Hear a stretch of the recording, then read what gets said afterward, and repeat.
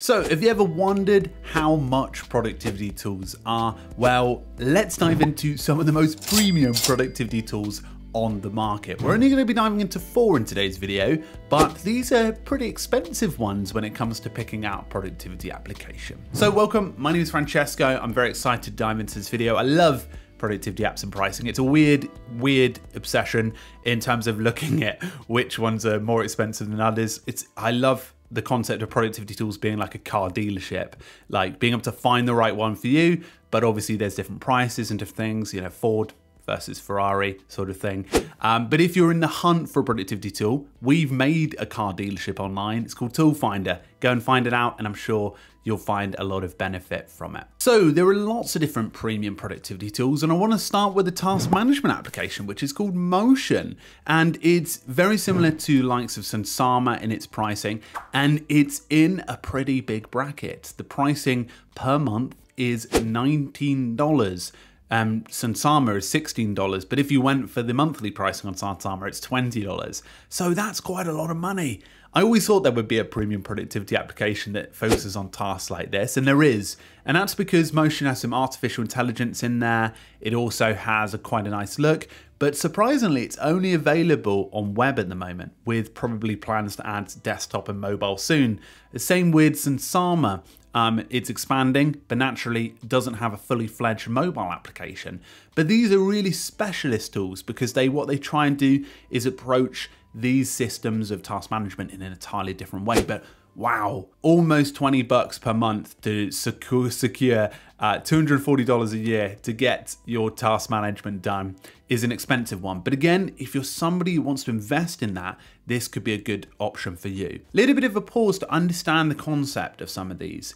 Um, it's a little bit like if you like spending money in, uh, I don't know, uh, in a on specific really high quality fruit, then you're going to spend more in that department than you say you are cereal because you might not like cereal. You might not spend much money in it, but you maybe get the basic there and the advanced one there because or the advanced fruit that is because you're you're you're tailoring it to what your needs are. I think it's something that was mentioned in the book uh, Ram Ramit Sethi. I can't remember the. I think it's how to make how to become rich or something like that. The concept of actually picking things based on what your needs are. So obviously it's like working out which ones are right for you and where you're willing to invest money in because some people want to spend a lot more in their notes app but then a lot less on their tasks app or maybe even not have a tasks app so it's really where you allocate your resources and your money. Next up is Calendar, and I thought Morgen Calendar was expensive when it first launched, but Vimcal has introduced their calendar app at $15 a month.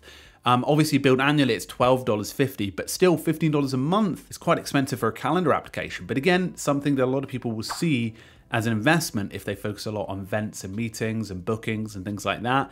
But one thing to consider when looking at a calendar application. Next up is Superhuman. Superhuman was $30 a month, and they do have actually introduced a new team pricing plan, uh, which is per user. I believe it's a growth plan, 45 dollars per month. So again, this is a premium email application, the most expensive out of our options here.